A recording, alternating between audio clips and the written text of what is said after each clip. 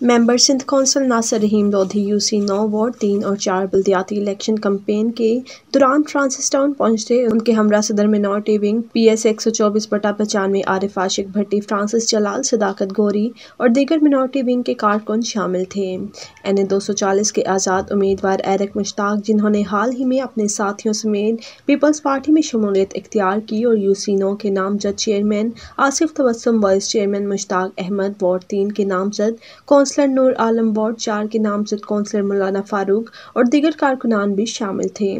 नासिर रहीम लोधी ने election campaign के दौरान आने वाले तमाम तर मामला की बात पर गौर फ़िक्र किया और चेयरमैन, वाइस चेयरमैन को अपनी भरपूर तावन की यकीन दहानी कराते हुए तमाम कारकुनान को मिलकर इलेक्शन कम्पेन चलाने और इलेक्शन के दौरान काम करने पर ज़ोर दिया।